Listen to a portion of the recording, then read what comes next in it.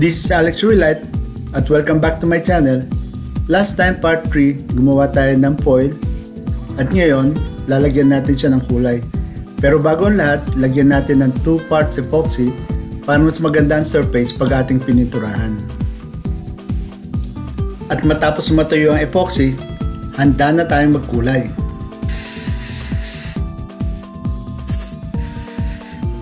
Gagamit ako ng airbrush at ang brand ng kulay ay Createx.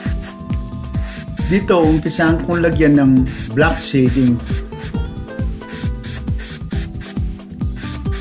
Lalagyan ko siya ng linya na magmimimik nung design ng scale ng isda.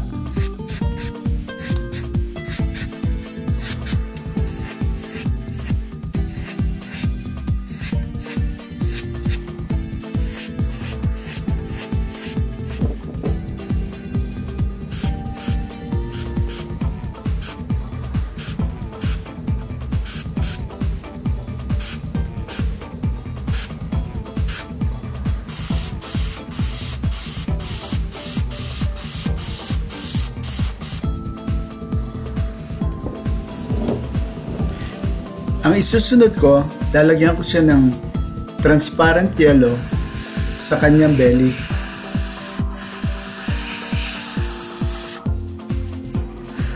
Hindi ko masyadong didiinan ng kulay nito para sa ganun, lumabas pa rin yung epekto ng kaliskis ng isda o yung silver na scale sa ilalim ng kulay.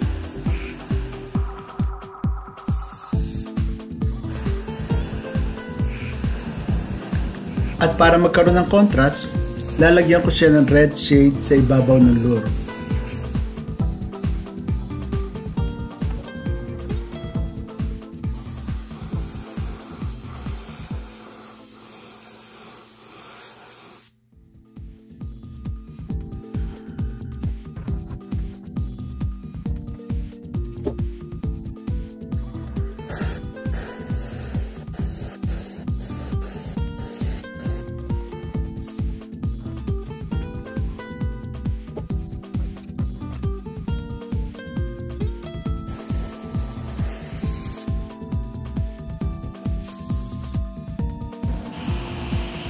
At dito, gagamitan ko siya ng black para lalong ma-emphasize yung stripes ng ating lure.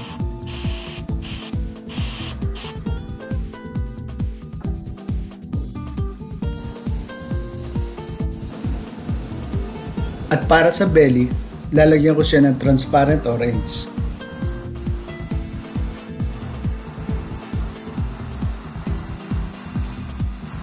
Konti lang spray nito konti lang dun sa ilalim ng ulo at sa belly.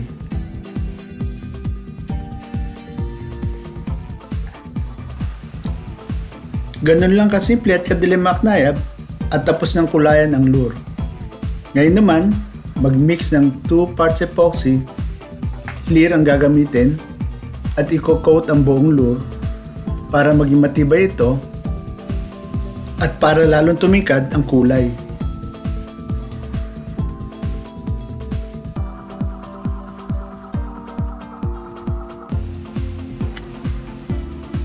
Gamitan natin ng disposable brush at siguraduhin na walang bula at lahat ng area ay makoat ng epoxy.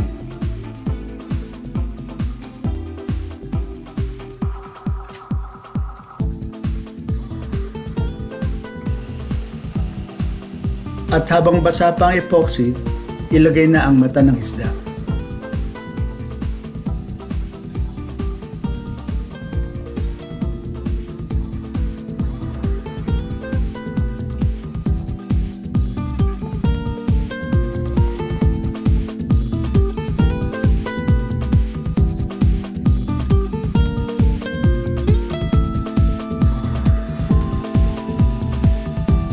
At pag natapos na ang lahat, ilagay sa isang lugar at patuyuin.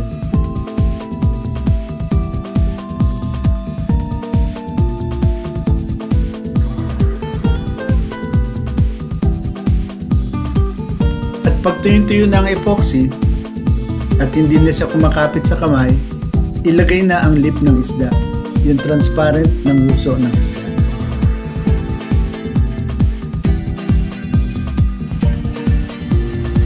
Bago ko i-activate o patigasin yung glue, sisiguraduhin ko muna ang pantay na pantay at maayos ang pagkakalagay ng nguso ng isda. Dahil dito nakasalalay, ang ganda ng langoy nito pag nasa tubig.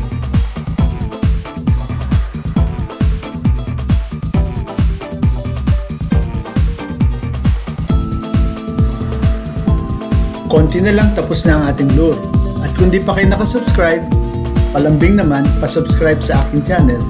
At huwag niyong kalimutan na pindutin yung notification bell para pag meron akong bagong video, kayong unang makakakita nito.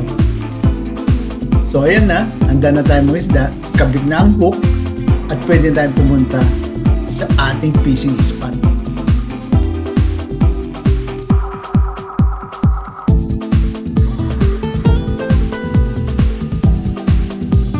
Have a good day everybody and thank you for watching.